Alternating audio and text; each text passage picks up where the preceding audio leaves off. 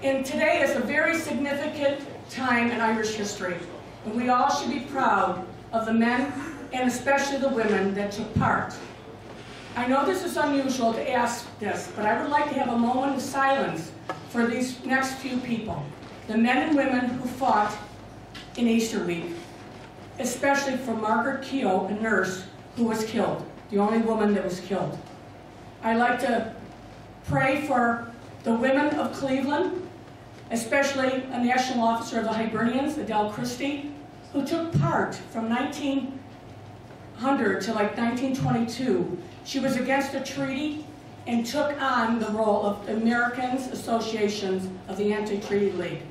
She took a big part in that. So I'd like to remember her. I'd like to remember also the rest of the ladies, Ancient Order of Hibernian, are deceased, who always had freedom for all Ireland as their goal. I'd also like to thank all the men and women of the Irish Northern Aid, and in particular, John Campbell, who kept the fight alive here in Cleveland. So if we can all just have a moment of silence, please.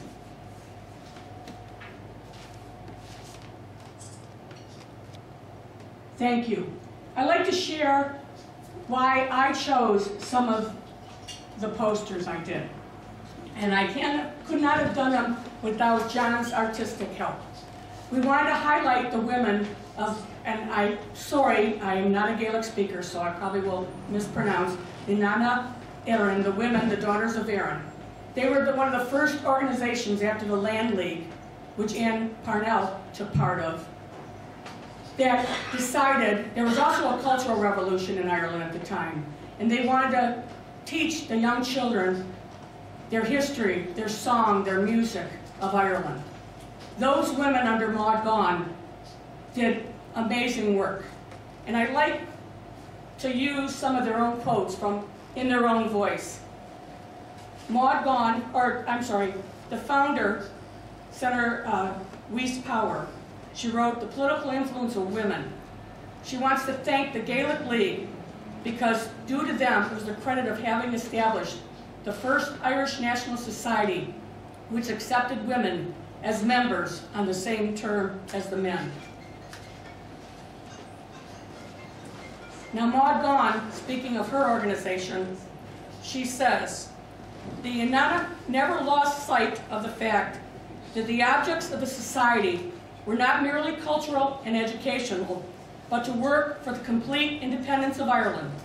So all children attending our classes were pledged never to enlist in the British Army or Navy. Before the end of the first year, we had started to fund for organizing a National Boys Brigade to prevent enlistments and receive a generous subscriptions from my sisters of the Ladies Auxiliary at that time of the Ancient Order of Hibernians in Suffolk County, New York. Unfortunately, this plan did not come to light right away. It took nine years, and then the Fianna Éireann were formed with Constance Markievicz. The next organization, which is, should be dear to all of our hearts, is the Cumann na mBan. They were founded April 2nd, 1914 in Wynn Hotel. They are the most significant women's organization over the last century because they never lost their goals for an all-republic of Ireland. And I'd like to quote Constance Markievicz. Fix your mind on the ideal of Ireland free, with her women enjoying the full rights of citizenship in their own nation, and no one will be able to sidetrack you. And so make use of you to use up the energies of the nation in obtaining all sorts of concessions. Concessions, too, that for the most part were coming in the national course of evolution, and were perhaps just hastened a few years by the fierce agitation to obtain them. She goes on to say, to sum up in a few words what I want the young Ireland women to remember from me. Regard yourselves as Irish, believe in yourself as Irish, as units of a nation distinct from England, your conqueror, and as determined to maintain your distinctiveness and gain your deliverance. Arm yourselves with weapons to fight your nation's cause. Arm your souls with noble and free ideas. Arm your minds with the histories and memories of your country and her martyrs, her language, and a knowledge of her arts and her industries. And if in your day the call should come for you, for your body to arm, do not shrink from that either. May this aspiration towards life and freedom among the women of Ireland bring forth a Joan of Arc to free our nation. Those two organizations were very special in this movement. And when Easter Sunday came around and Eoin MacNeill decided that he was going to call off when he found that there was a rebellion, these women were sent by the seven signatures to go around the country and say, we are doing it tomorrow. A lot of these women took their lives in their hands to go around the country and never made it back to Dublin to participate in the fight that they really wanted to.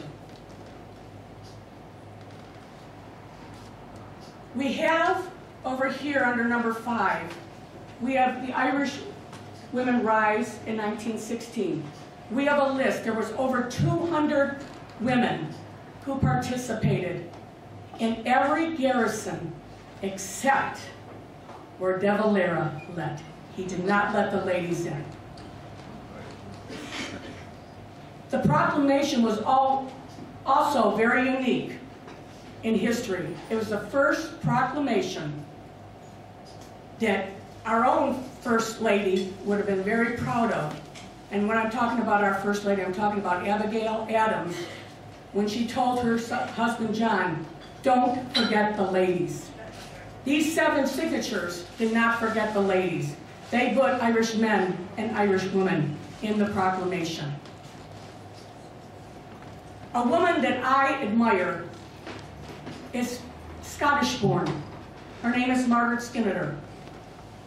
She would come, her parents were Irish born, she would come back and forth between Scotland and Ireland and bring detonators. And her and Constance Markievicz would go out in the hills around Dublin to shoot these off and make sure that they were working. During the week, she would dress up as a boy, ride her bike to carry dispatches between all the garrisons. That was not enough for her. Constance Markowitz knew that this was not enough for her, and she, as the second in command of St. Stephen's Green, asked the commander, Mallin, if Margaret Skinner could participate fully. He agreed. She was able to get a uniform. When she would put that uniform on, she'd go up and be a sniper.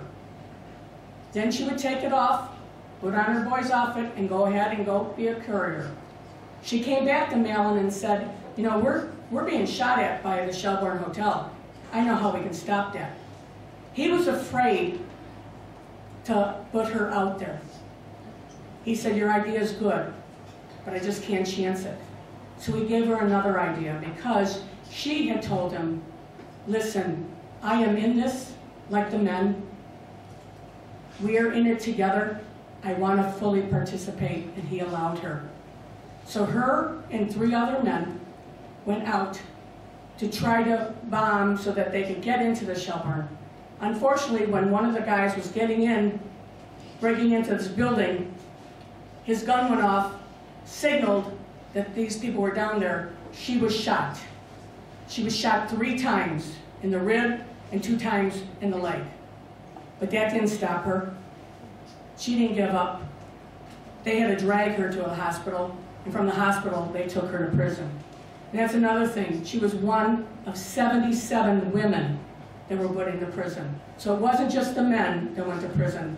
There was one whole garrison that all the leaders throughout when they surrender went out, they wanted the women to leave. There was 22 in one garrison that said, we are with the men, we are marching out with the men, and they all went to prison with the men. In the GPO, the women were only agreed to go because they had to take the wounded to a hospital. Three women stayed behind, Elizabeth O'Farrell, Winnie Carney, and right now my mind went blank. Um, I'll tell you in a minute, as soon as it comes. but Elizabeth O'Farrell was chosen to go out and take the surrender to everyone, and she was airbrushed out of history. Now, as a Hibernian and as a woman, I'm proud of the fact that young women were committed to this cause. And we have a commemorative pin that highlights Molly O'Reilly. At the age of nine, Molly O'Reilly went to Liberty Hall to learn Irish dancing. She attended some speeches of James Connolly, was inspired by him, and decided this was what she wanted to do. Her father was a supporter of the crown. Unbeknownst to him, his daughter Molly was in all these nationalist activities. And when the Howth guns came in, Molly hid some under her father's bed. She was chosen by James Connolly to raise the flag, the green flag, over Liberty Hall on Palm Sunday. So she was a very remarkable young lady. You know, everyone thinks about Constance Markowitz, and yes, she did a lot, but it was the people that she influenced. She was a good friend of Kathleen Lynn, who turned out to be a chief medical officer, who was the other person that was in the GPO. We also have James Connolly's daughters, Winnie and Ina. And they were upset because they were down with Constance Markowitz when the boat came in with the Howth guns. And they were the only two girls in Belfast, they had a girls' society like the Na Fianna for the boys. And they were down there with them when all the boys left, and they were upset, Ina especially. And her sister says, don't show them how you really feel. Show yourself like a soldier. Once beknownst to them, they had a special mission. The two of them took the guns from the house up to Belfast. So again, remarkable women. And you know, it was a woman's idea to bring the guns from Germany using yachts. It was Mary Spring Rice. And the boat that they used was a, a wedding present, present to Molly Estern, who was born in um, United States. So two women were on that boat that brought those guns that were used. Because we all know the story about Roger Casement and how they got caught and the guns that were coming in were all sunk. So it was these women that did an awful lot, and I think we owe them a lot of gratitude. And I want to thank everyone for being here tonight to honor the women and the men of 1916 because they were the ones that gave us the beginning of the country that we all love as a true republic. Hopefully we'll all be united pretty soon.